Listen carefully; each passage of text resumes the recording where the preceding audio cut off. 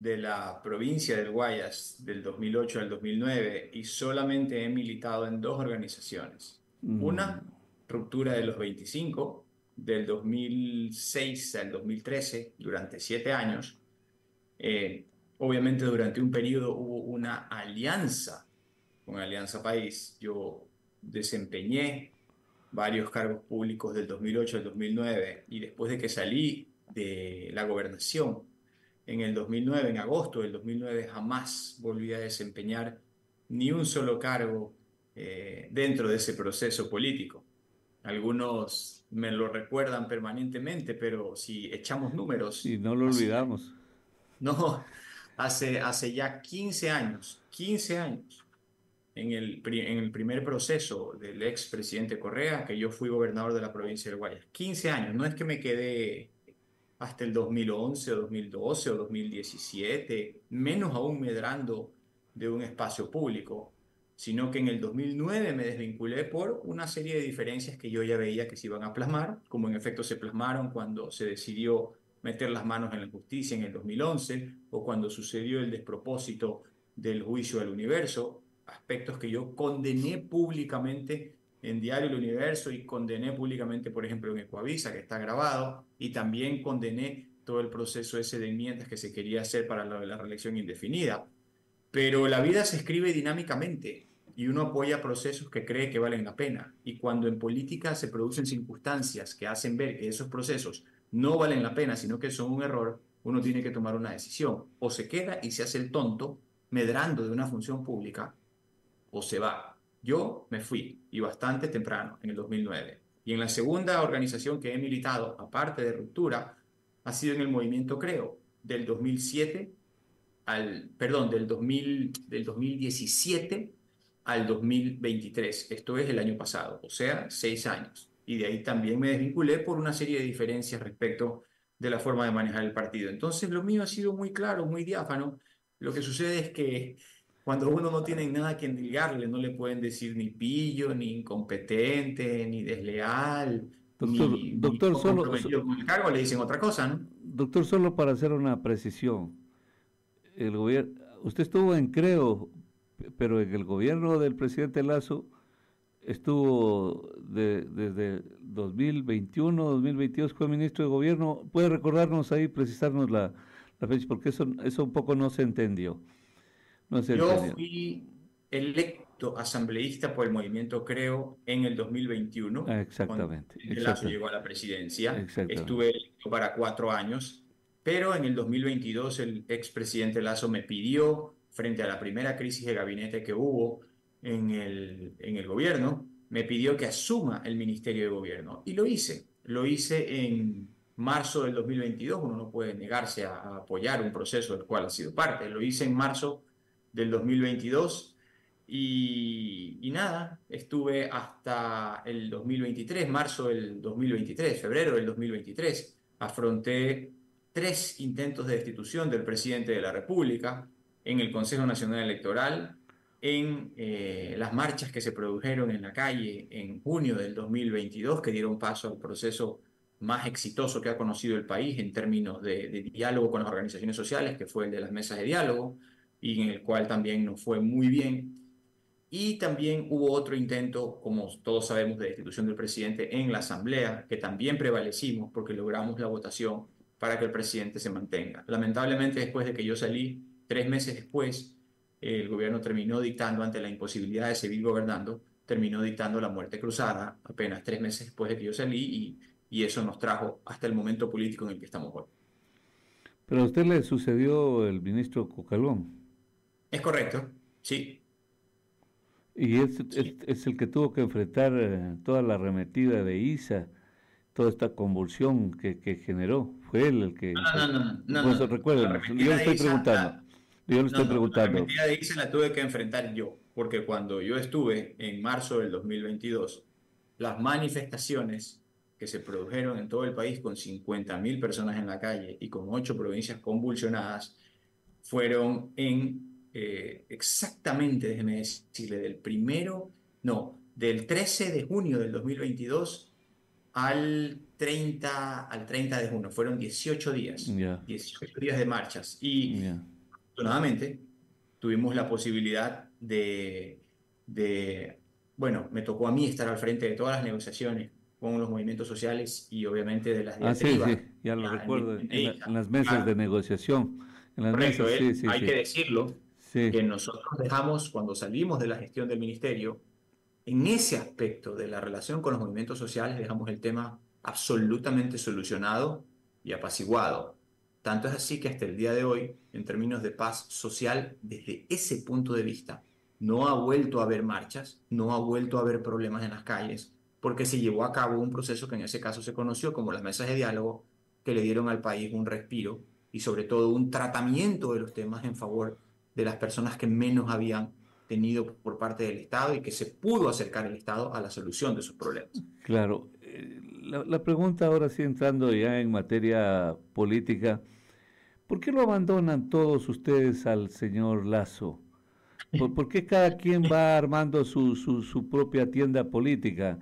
el exministro de Bienestar Social ya también su movimiento. Ahora usted, no sé cuántos más estarán ahí. Lazo que quiere perseverar todavía en la, en la política. ¿Con qué gente va, va, va a sostener su, su, su, vida política si todos se, se, le han ido? ¿Por qué lo abandonan? No es abandono, o sea, me, da un poco de risa. Eh, disculpe.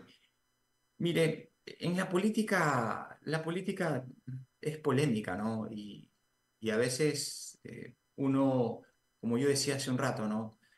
Eh, algunos cuando encuentran cosas con las que no están de acuerdo, pues se quedan en un determinado barco y miran a otro lado y dicen, bueno, ya de mejorar y luego, y luego ya va a pasar y luego veremos cómo nos ajustamos. Yo, como le digo, he tenido dos procesos políticos, el, el que estuvo en la ruptura durante eh, ocho años y el otro en el que estuve en el movimiento, creo, eh, de seis años, seis, siete años.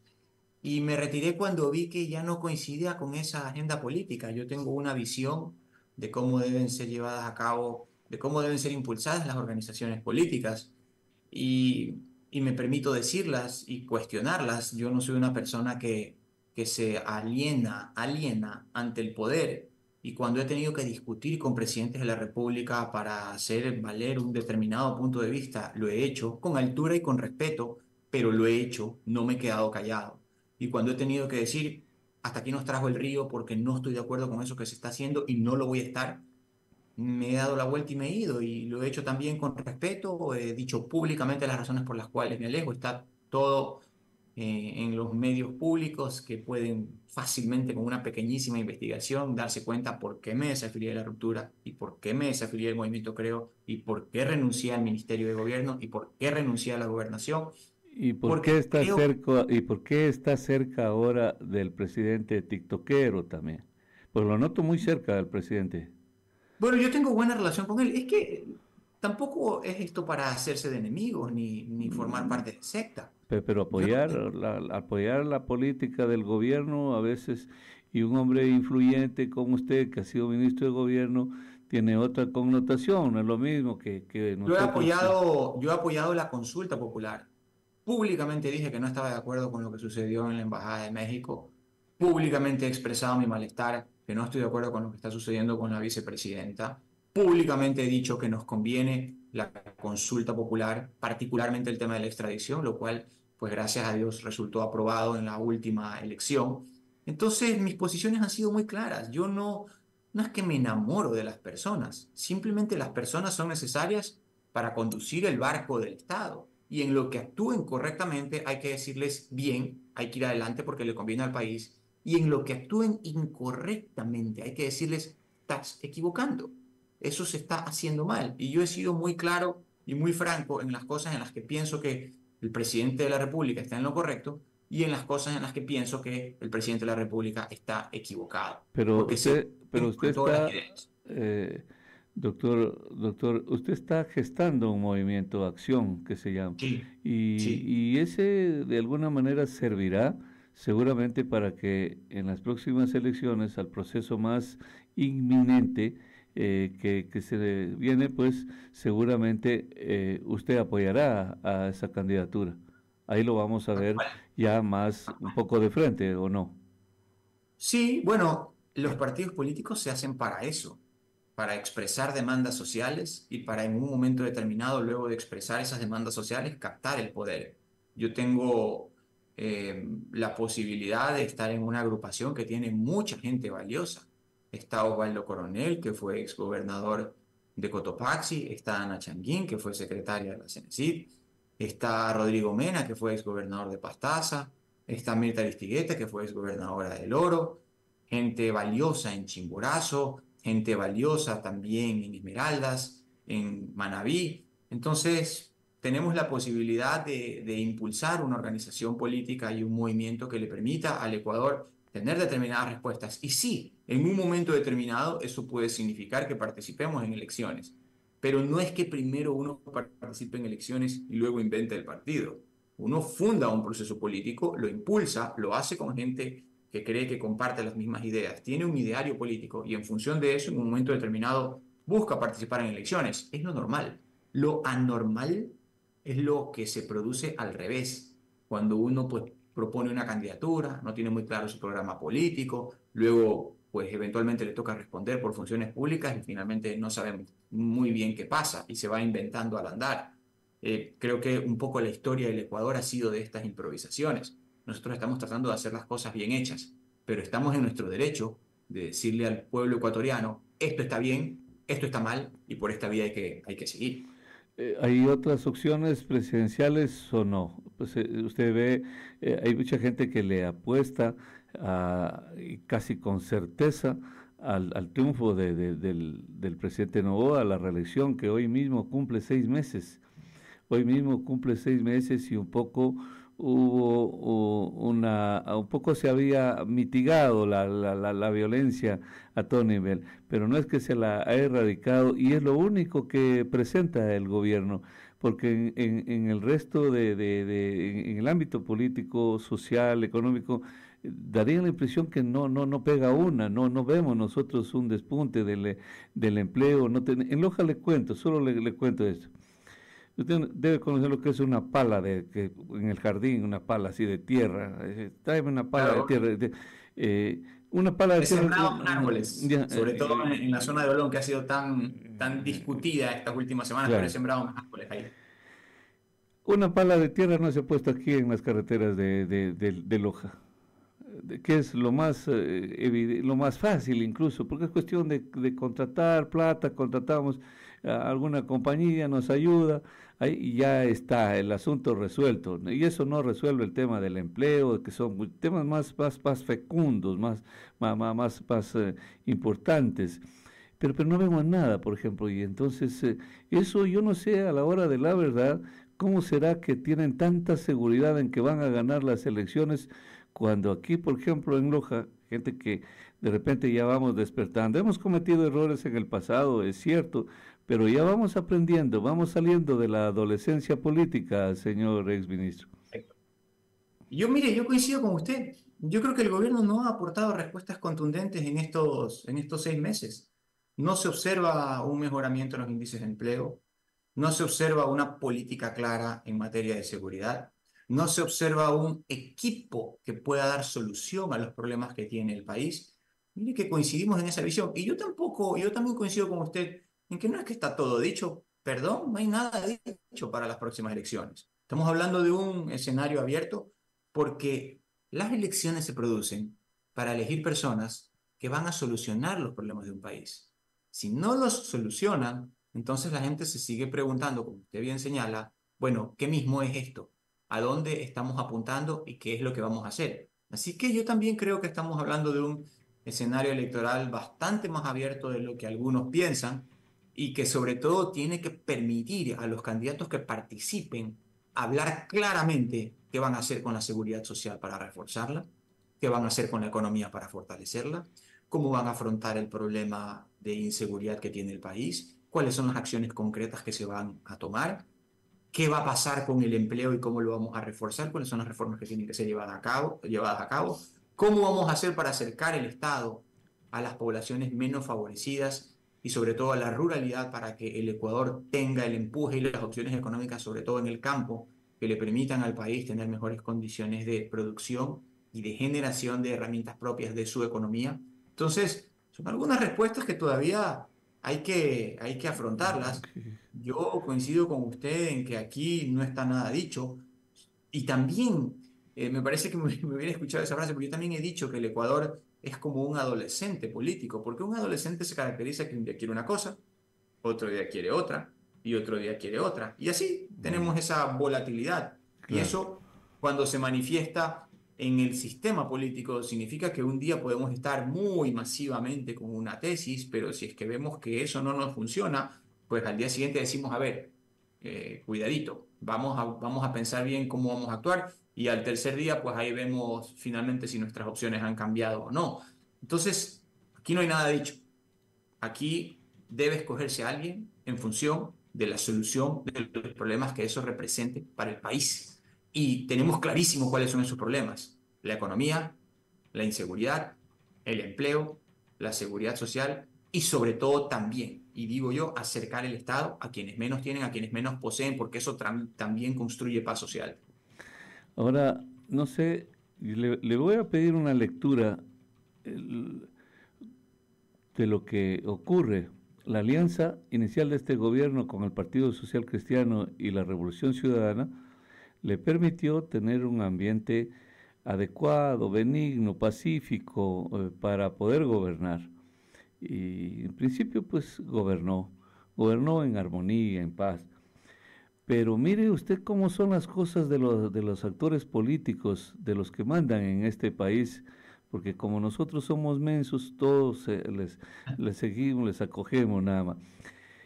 En un momento a otro, Nebot lo quita Topic y, le, allana el camino para, para que mejoren las condiciones políticas de, eh, la, de la candidatura a la reelección de Novoa.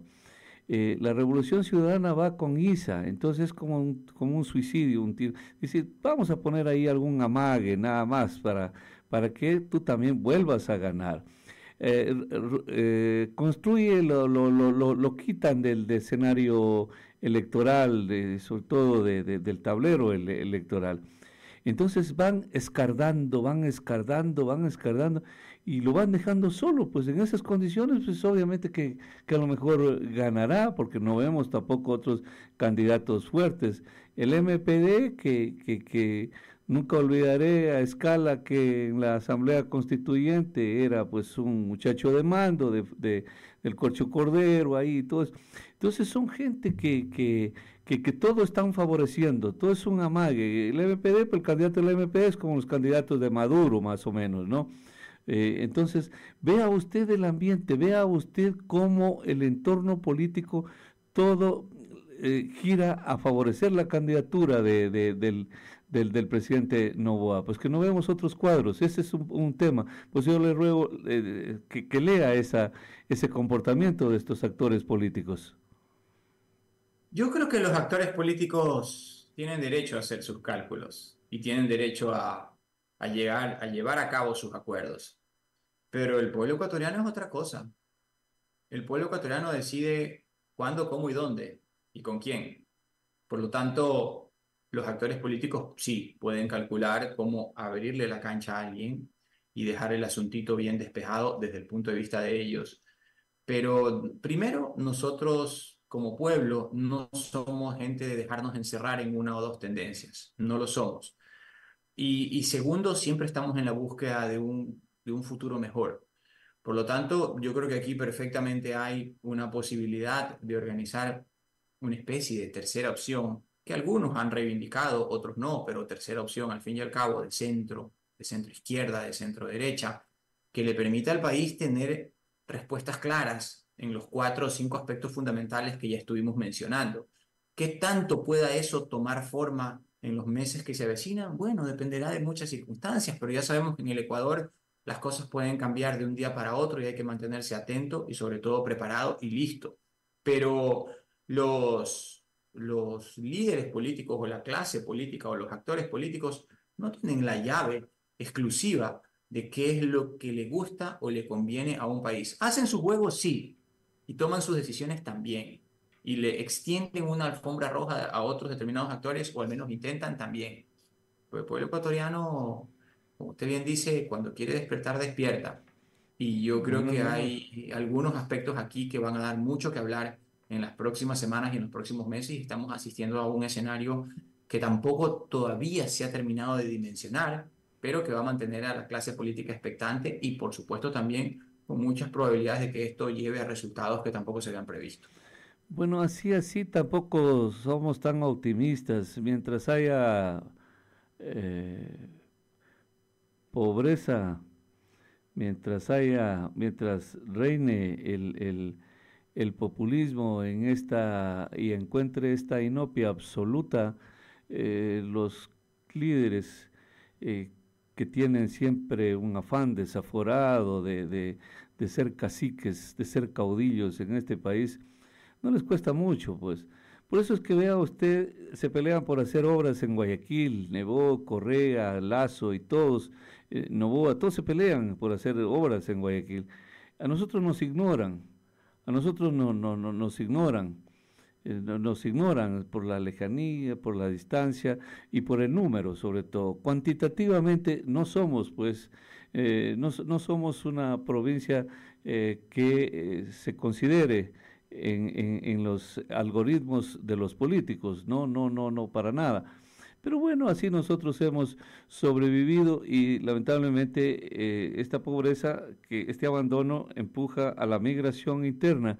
Entonces, por eso es que usted encuentra eh, casi mitad de Guayaquil, son manabas, son del Chimborazo, son lojanos, son de otras provincias, porque eh, las abandonaron a sus provincias y luego las empujan allá o las, se las llevan a, a, la ciudad de Guayaquil y ahí, y ahí gobiernan, ahí en, donde, eh, en ese mundo de, ceguera, pues el tuerto es el rey, ¿no? Entonces, Guayaquil manda, Quito mandan, resuelven qué es lo que hay que hacer en este país y se acabó, y se acabó. Entonces nosotros en Loja no teníamos otra opción que votar por, por, por Novoa porque nos lo acabaron a Fernando Villavicencio que era la opción de los hombres honestos, de los hombres que, luchamos por, la, por, combatir la, la, corrupción de, este país.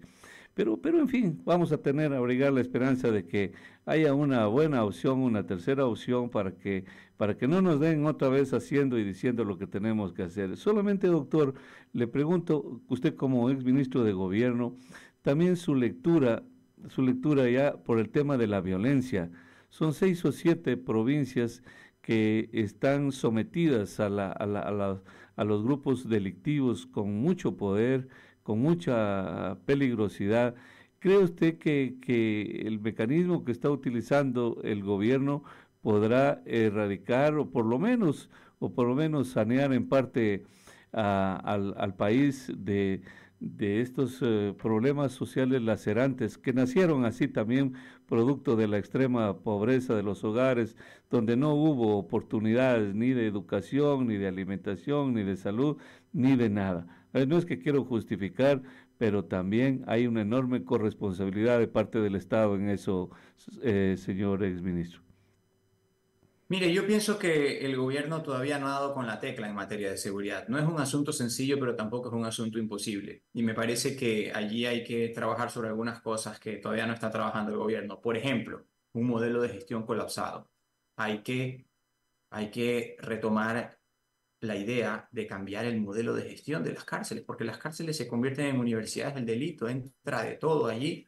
Vimos que ahora en estos últimos días ha habido todo un problema con la empresa que que estaba proveyéndoles de alimentos a las cárceles. Entonces, eso también ha sido observado por parte del gobierno y está bien que auditen todos los procesos que tienen eh, que ver con el sistema de rehabilitación social, pero aquí hay un modelo de gestión que tiene que ser revisado integralmente.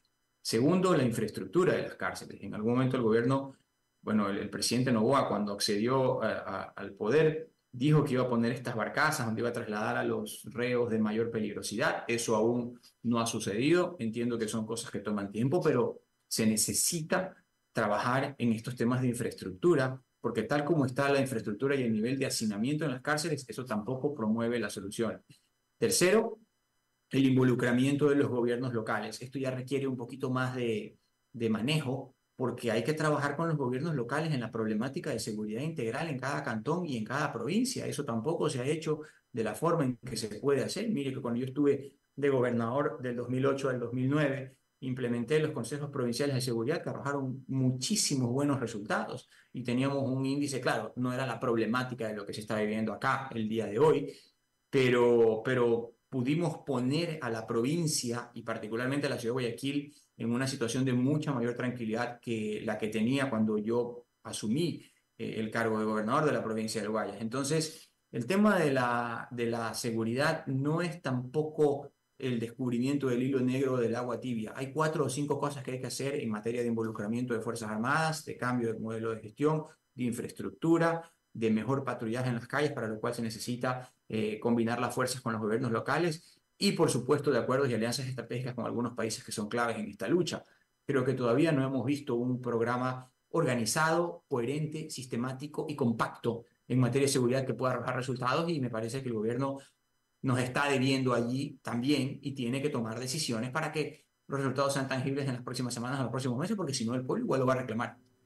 Doctor, quiero agradecerle infinitamente esta posibilidad de conversar por haber haber escogido este programa para conversar esta mañana y tratar estos temas que son de enorme importancia para el país. Ojalá que cuando venga Loja, pues para tomarnos un café acá y sea lo más pronto posible. Yo le envío un fuerte abrazo. Nos hablamos otro día.